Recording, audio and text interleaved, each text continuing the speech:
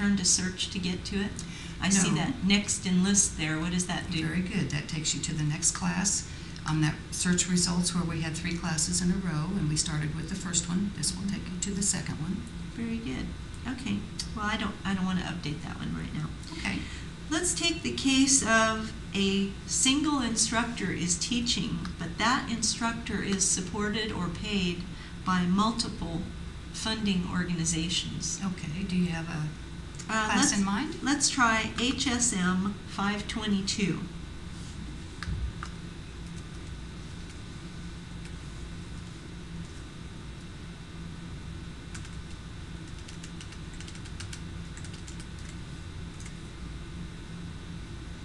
Okay.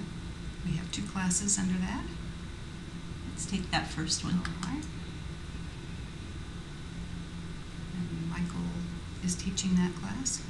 Okay, now in addition to Michael being paid by the Health Management Systems Department, we also have him partially paid by the Exercise and Wellness Department. So how would I reflect that? Okay, so we want to apply an, an additional funding source to Michael. Right, And you go over here and you click on Add Multiple Funding.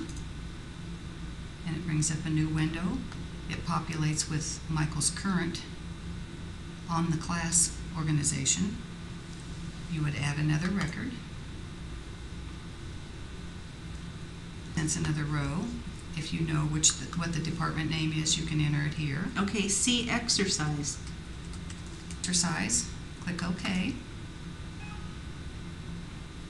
And you get Oh. the error message. So we need to put some percentages in the Right. effort We boxes. We have to divide it up, so how is Michael? This would be 50-50. All right. He's half paid by health management and half paid by exercise and wellness. So you enter your percentage and you click OK. And it returns you to the main screen. I noticed that it indicates multi under the department. That's true.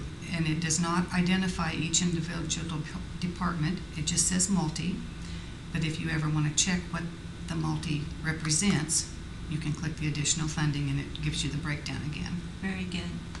So I'm I'm pretty much done with that one. Let's uh, let's lock and save. All right.